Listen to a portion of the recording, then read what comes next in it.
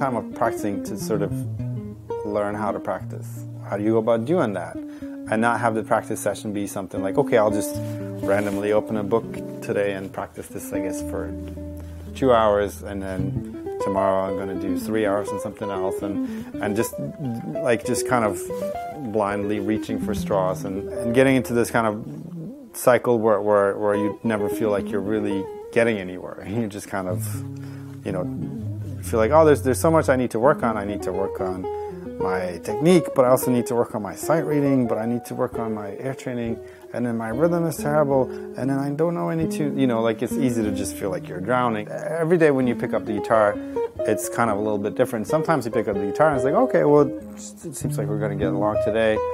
Other days, it, it just feels like my hands never really showed up for work, so.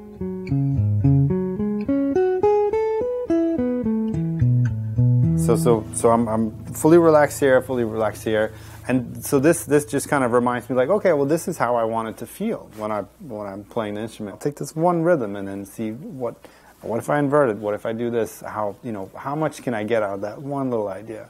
It is just a tiny piece of the puzzle, but but I have this piece now, and and maybe I can what what what would go go well with that piece.